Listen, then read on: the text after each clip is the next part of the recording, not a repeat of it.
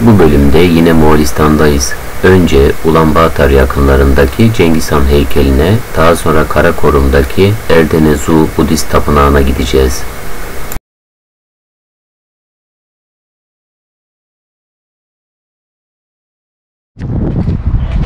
Şimdi Büyük Cengiz Han heykelindeyiz.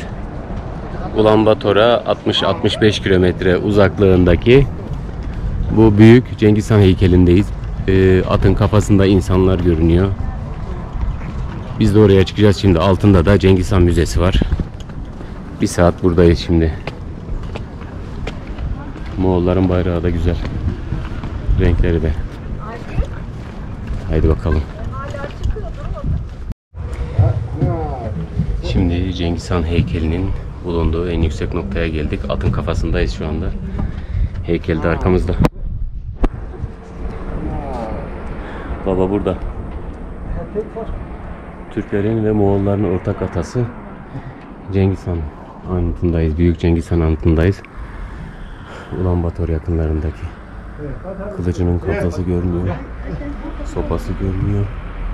Elinde kamçısı ve kılıcı ile birlikte.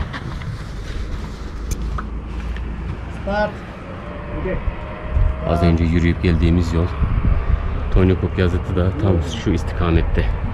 Buraya 10 kilometreye var ya yok. Evet, şimdilik durum burada bu. Baba. Burada Büyük Han, Hülagü Han'ın hayatı anlatılıyor bu gravürde. Hülagü Han da burada eşiyle birlikte oturuyor.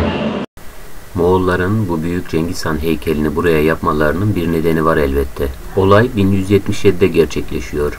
1177'de Cengiz Han, kardeşi Hasar ve Belgude ile birlikte Kereydin Sultanı Toril'den destek istemeye gidiyor ve dönüşte bu yerde altın saplı bir kamçı buluyor. Kamçı bulmak Moğollarda kutsal bir işaret olduğundan o geceyi Cengiz Han ve yanındakiler orada geçiriyorlar. Cengiz Han heykelinden ayrılıyoruz.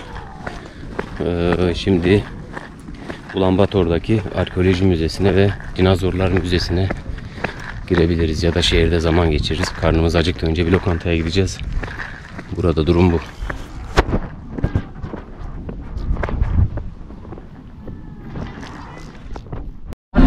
Burada. Nerede? Ha bu mu?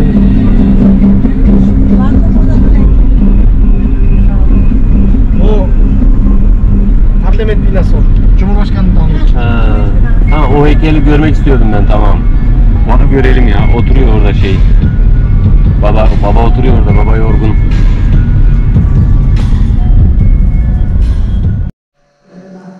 Ulaanbaatar'da Dinozorlar Müzesi diye bilinen yerdeyiz.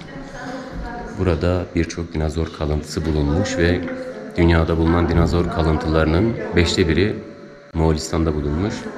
Arkamda gördüğünüz de 252 milyon yıl önce ile 60 milyon yıl önce yaşamış dinozorlar devrinde yaşamış olan dinozorların kalıntıları bunlar. Bu görmüş olduğunuz gerçek bir dinozor. Gövdenin %75'i gerçek. Kafanın da %85'i. Geri kalanını tamamlamışlar. Hepsi parça parça bulunuyor Gobi çölünde. Bu şekilde eee, birleştiriyorlar. Gerçek bir dinozor. Yine buralarda da dinozor kalıntıları, parçaları var. Bir dinozor kafası.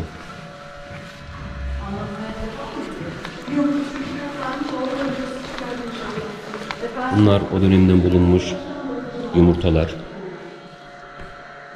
Fosilleşmiş tabi. Gene bir dinozor kafası.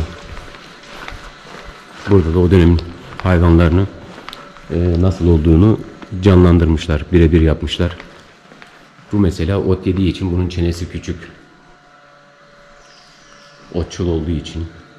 Kaçmak istediğinde dört ayağını kullanıyor. Onun dışında iki ayağını kullanan bir hayvan. Bu etçil olduğu için çene ve dişler büyük. Bir lokmada 60 kilo et yiyebiliyor. Az önce hesabını yaptım. Bir lokmada Türkiye parasıyla 2700 lirayı yiyor bu. Sadece bir lokmada.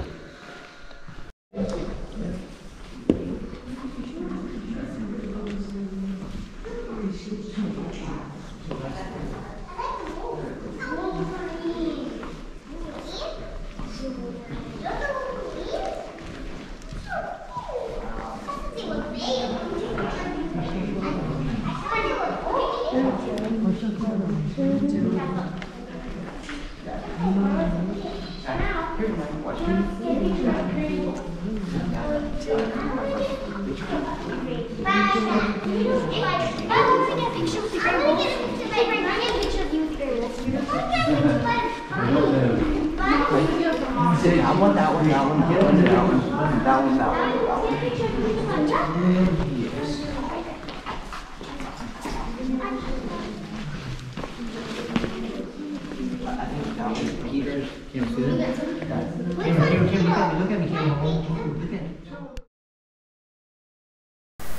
Şimdi de Moğolların en eski Budist tapınaklarından biri olan Karakorum'daki Erdenezu Tapınağı'na gidiyoruz. 16. yüzyılda yapılmış olan Karakorum'daki Erdenezu Tapınağı günümüzden 15-20 yıl öncesine kadar Moğolistan'ın bütün Budist rahiplerinin yetiştirildiği yerdi. Erdenezu Tapınağı'na doğru gidiyoruz. Birazdan anlatacağım hikayesini.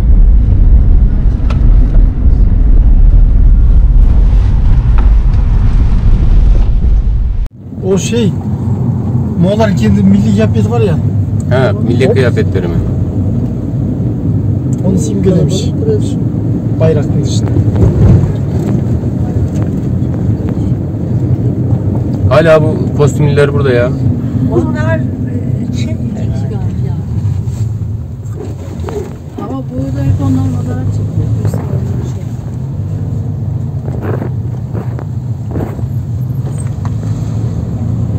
Yani görevli gibi bir şey gibi. Değil değil.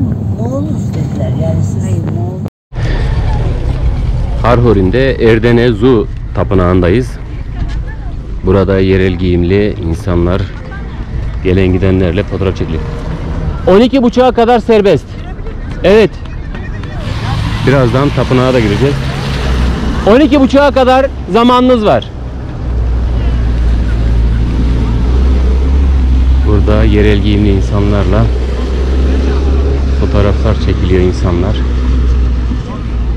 Moğollar gerçekten çok sıcakkanlı insanlar yani. Fotoğraf çekilmeye de çok açıklar. Harika insanlar. Evet, savaşçı giyimleri, yerel giyimleriyle beraber burada fotoğraf çekiliyorlar insanlarla. Arkadaki ablada iskit başlığı var. Bizim tarihimize de çok benziyor.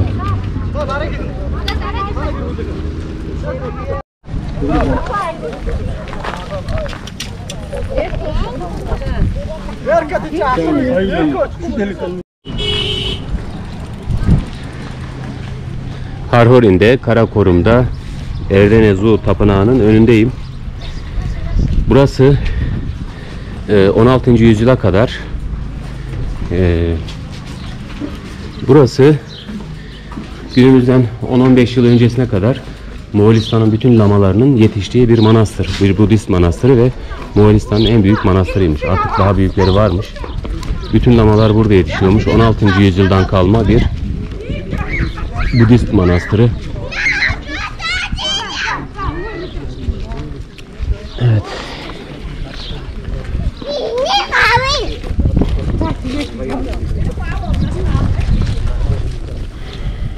Bakalım lamaları görebilecek miyiz?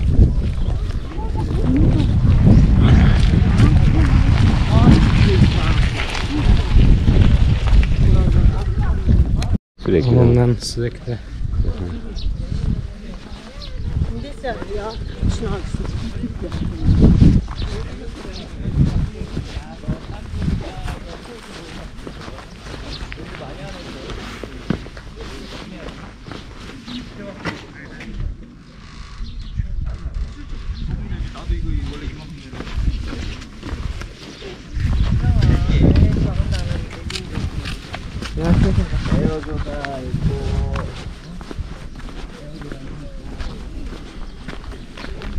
Buralarda da dikili taşlar var.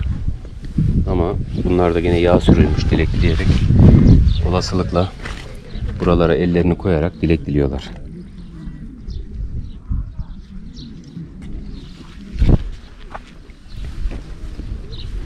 Yine buralara yağ sürülmüş. Budizmin Türk şamanlığından, şamanlıktan birçok şey aldığının birçok kanıtı. Görünce daha iyi anlıyoruz. Budizm kamlık inancından doğmuş bir dindir. Buradaki en eski yapılardan biri de bu olsa gerek çünkü görüntüsünden belli eskiliği.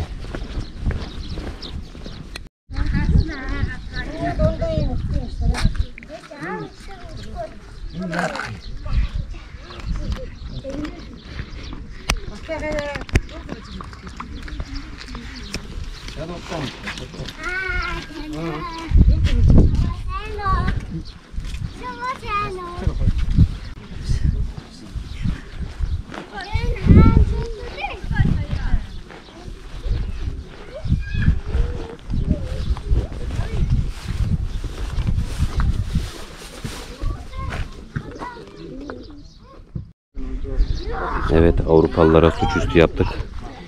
Dünya silah satıp sonra böyle bozulmamış yere yarayan Avrupalılar. Mesajımızı da verdik yani. Şimdi ayin olan bir yere gireceğiz herhalde. Orada mıymış? Ha, bura ne? Müze mi?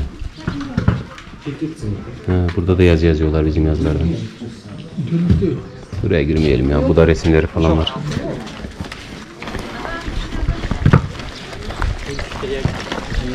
Pampa bir şey öğrendin mi? Öğrendim. Daha önce defada öğrenmiştim ben bunları zaten. Hı hı, tamam o zaman. Bunlar? Buradan çok eskiler. Ayin mi var? Evet. Evet şimdi ayine doğru gidiyoruz. Tapınağın güzelliğine bak rengarenk. Şimdi oraya doğru gireceğiz ha? Sürekli yapıyorsun. Evet.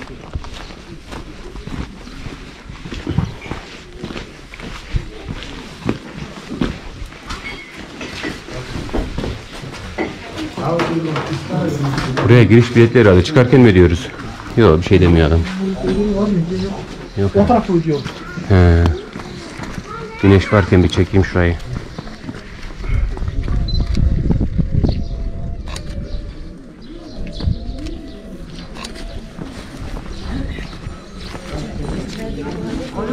Çekmek yasak bildiğin gibi.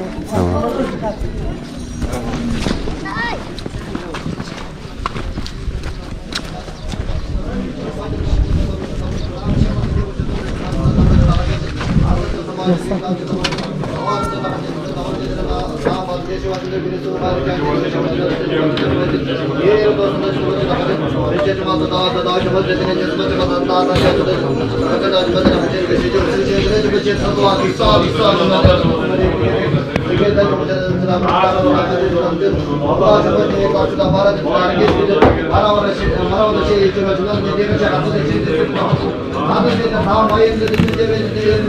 olun.